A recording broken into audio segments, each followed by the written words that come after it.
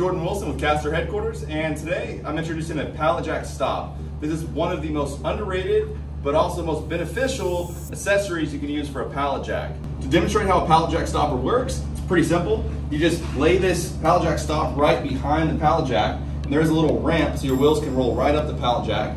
So we'll just roll it right here. Grab the pallet jack, and you want to line up these two rear wheels to roll right up the ramp. Now it's in. You can't move the pallet jack. So as you're rolling, this is actually going to be completely stationary.